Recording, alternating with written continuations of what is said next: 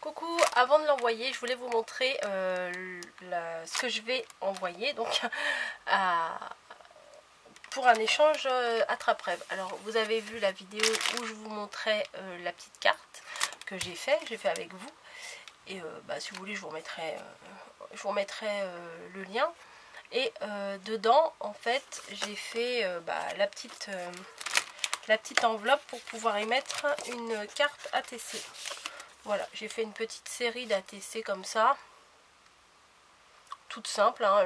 Le, papier derrière, il était super chargé. Je me suis dit, qu'est-ce que je vais en faire? C'est du papier euh, de ce bloc-là. Et, euh, et j'aimais ce papier, puisque bon, bah, ça fait attrape-rêve. Et je me suis dit, qu'est-ce que je vais en faire?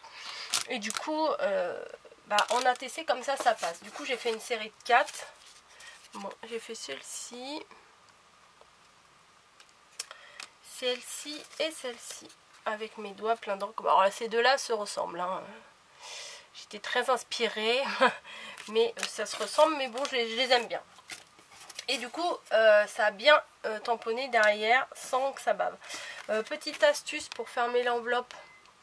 J'ai mis de la mousse 3D de chaque côté de la petite étiquette. Comme ça, du coup, la pointe de l'enveloppe, on peut la glisser en dessous. Voilà, c'est tout bête. Là, j'écrirai mon mot. Donc, je lui envoie ma carte avec une ATC. Euh, je lui ai mis euh, des feuilles euh, du bloc Clairefontaine. Voilà. Celui-là, il est trop beau. Voilà. Voilà, alors c'est celui-là qui est chargé. Je sais pas si elle va réussir à faire quelque chose avec, mais je pense que oui. En fond, il est, il est pas mal. Voilà, et euh, j'ai rajouté des tamponnages. Alors, euh, les tamponnages, je les ai faits sur du papier. Bon, c'est un peu crado, mais on s'en fout. C'est la couverture. Euh, c'est du papier aquarellable. Voilà, du canson aquarellable. Donc, si après tu voudras mettre de, l'aquarelle dessus, bah, c'est possible, ça va pas, ça va pas baver. Donc, j'ai fait des tamponnages des planches Miss Crea que j'avais. Voilà ça et ça. Et j'ai rajouté euh, quelques petites découpes d'attrape-rêve. Et euh, franchement, j'ai pas eu le temps d'en faire un. C'était mon idée première. Mais j'ai vraiment pas eu le temps. Et comme l'autre jour, euh, quand je suis allée à Babou, j'avais trouvé ces attrape-rêves là. Et ben, je me suis dit que ça irait parfaitement dans l'envoi.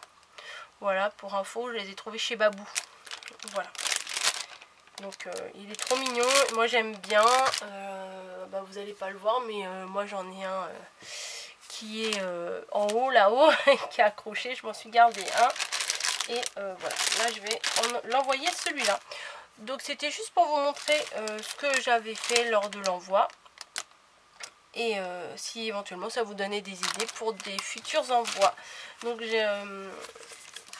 j'aime bien maintenant faire ce système là de mettre les ATC dans dans une enveloppe assortie. C'est pas le papier qui manque à la maison, hein, avec tous les blocs qu'on achète. Donc à mon avis, chez vous aussi, si vous êtes des actions addicts, euh, vous devez avoir plein plein plein de papier. Et faire des enveloppes, franchement, c'est pas compliqué.